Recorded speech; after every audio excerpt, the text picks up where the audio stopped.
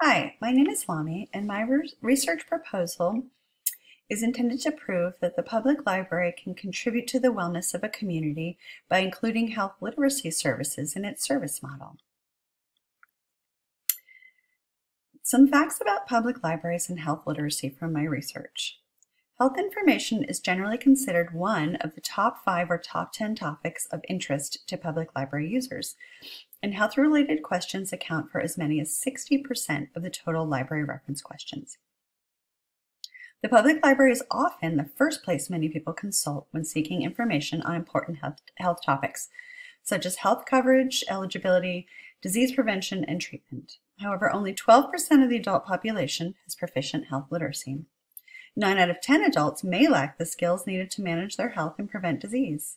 And research shows that poor health literacy leads to poor, poor health status outcomes.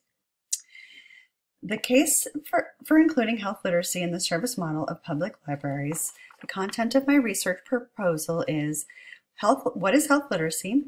How does health literacy affect communities? What have public libraries done so far and where are the gaps in services? I have a literature review, a research method, which will be surveys and interviews, some ethical concerns, and a conclusion. What is health literacy? Health literacy, the United States Department of Health and Human Services de defines it as the ability to obtain, process, and understand health information needed to make informed healthy informed health decisions. Some examples of behaviors that demonstrate health literacy are choosing a healthy lifestyle, knowing how to seek medical care, and taking advantage of preventative me me me measures.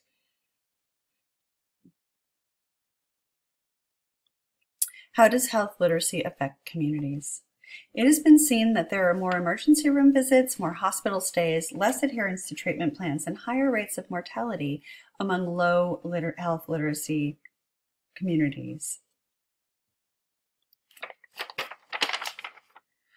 What are public libraries doing now, and what are some of the service gaps?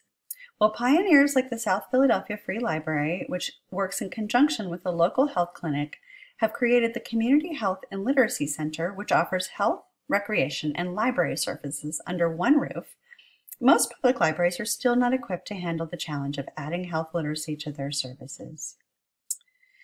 Many, several researchers that have contributed a lot to my research and to the field are Lily Liu and Ellen Rubenstein. They've conducted many studies into the intersecting fields of health literacy and public library policies and services.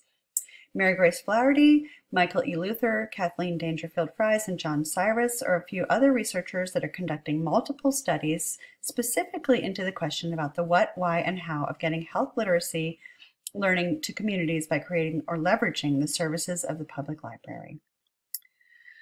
The research method that I will use are surveys, follow-ups, and interviews. A collaborative survey will be drawn up by the researcher, library staff, and public health administrators, which will be mailed to residents with each, within each of the public library districts. A follow-up survey will be sent three months after the initial survey return date. Follow-up surveys will, will collect qualitative and quantitative data, which will be cross-referenced and analyzed. Recommendations will be presented in the form of a paper. Some of the ethical concerns that need to be addressed while doing this research are confidentiality and information security first and foremost. Some are risks such as litigation against librarians and libraries providing literacy information, the potential of erroneous information, unreasonable expectations from patrons and confusion about the role of the librarian as a health literacy advocate rather than a diagnosing physician. And although it is against the library code, some librarians may have religious or ethical concerns about giving out certain health information. The overview, in the overview, the lack of public health literacy is a threat to all aspects of a community.